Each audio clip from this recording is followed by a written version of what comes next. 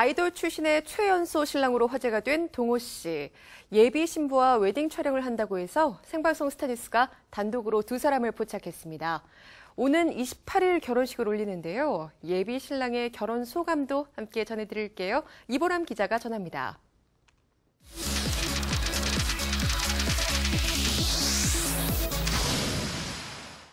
그래서 좀 오늘 촬영 앞두고 있는데 소감이 좀 어떠신지. 일단 뭐 연애 활동할 때도 안 해본 촬영인데 떨리고요. 그룹 유키스 출신 동호의 웨딩 촬영 현장을 생방송 스타뉴스가 단독으로 포착했습니다. 오는 28일 유부남 대열에 합류하는 동호. 가수 데뷔 나이 15살, 연예계 은퇴 나이 20살. 타 아이돌에 비해 빠른 행보를 보였던 그가 결혼 역시 22살이라는 나이에 아이돌 출신의 최연소 신랑 타이틀을 달게 됐는데요. 걱정은 처음에 많이 했었는데요. 동호의 결혼 소식은 그가 연예계를 떠났음에도 수많은 기사를 양산했고 대중의 뜨거운 관심을 모았습니다. 동호는 한 매체를 통해 어린 나이에 결혼을 결심했는데 얼마나 사랑하는지는 굳이 말할 필요가 없을 것 같다면서 예비 신부에 대한 애정을 드러냈는데요. 또 한간에서 떠도는 혼전 임신설에 대해서는 사실이 아니라는 입장을 밝히기도 했습니다. 좀 부담감은 많이 있지만 그래도 편하게 생각하고 있습니다. 차근차근 결혼을 준비해 나가고 있는 것으로 알려진 동호. 지난 2일 새벽에는 웨딩 촬영을 진행한다는 내용을 SNS에 게재하기도 했는데요. 이보다 먼저 웨딩 촬영 소식을 입수한 생방송 스타뉴스 취재진은 동호 커플의 웨딩 촬영이 진행되는 서울 강남의 한 스튜디오에 찾아갔습니다. 오후 12시쯤 한 승용차를 직접 운전하며 예비 신부와 함께 나타난 동호. 턱시도 차림의 보타이로 신사의 품격을 완성한 그는 취재진의 갑작스러운 등장에 조금 놀란 눈치였는데요. 네, 웨딩 사진 찍는다고 해서 왔거든요.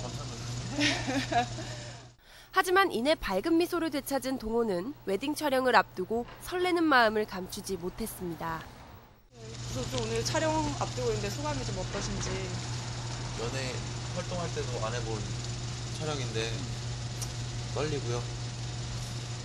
이쁜 이쁘게 찍어서 이쁜 사진 보여드리도록 하겠습니다.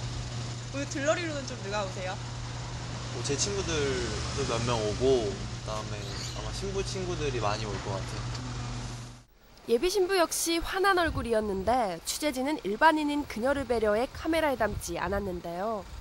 동호는 예비 신부의 미모 칭찬에 팔불출 면모를 뽐냈습니다.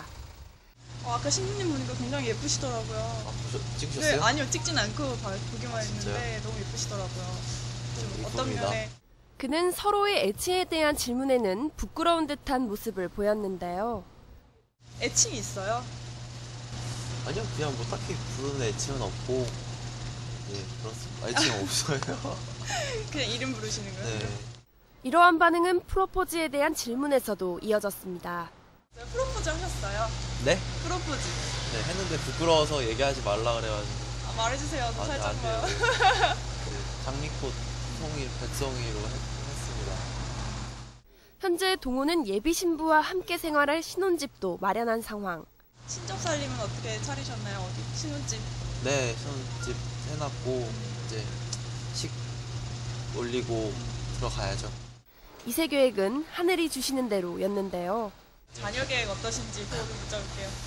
글쎄요, 뭐, 일단은 저희는 저희끼리 좀 둘만의 시간을 좀 보내고 싶 은데, 근데 부모님들께서 좀 빨리 원하시긴 하시거든요. 그래서 뭐, 노력을 안 하지도 않고 하지도 않고 그냥 있는 그대로 주어지는 대로 살 예정입니다. 하늘이 주시는 대로. 네.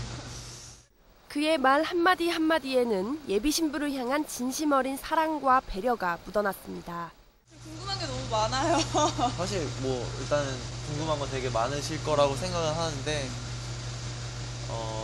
뭐 이것저것 이유가 있겠지만 그래도 제일 중요한 거는 신부가 연예인이 아니고 하다 보니까 이제 괜히 뭐 구설수에 오르거나 얘기가 나오면 사실 상처받고 그럴 걸 제가 원치 않아서 최대한 말을 아끼고 있어서 그건 좀 양해를 부탁드리고 또 상의해서 공개할 수 있는 부분에서는 최대한 다 말씀드리려고 하고 있으니까.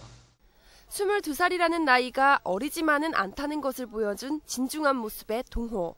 많이 또 축하해 주시고 축복해 주셔서 너무 기분이 너무 좋고요. 또 잘 사는 모습 보여드려서 또 축복해 주시는데 보답하는 그런 모습 보여드리겠습니다. 감사합니다. 유키스를 탈퇴한 후 아시아 일대를 누리는 DJ로 전향한 그는 결혼 후 당분간 신혼생활에 집중할 예정인데요. 근데 그 디제잉 활동을 그럼 계속 하시는 거예요? 글쎄요, 뭐 일이 잡히면 하는데 뭐 당분간은 신혼생활을 좀 즐기는 게 좋지 않을까 싶기도 하고요. 한 여자의 남편이자 한 가정의 가장으로 또 실력 있는 DJ로 행복이 넘치는 삶을 꾸려나가길 응원합니다. 생방송 스타뉴스 이보람입니다.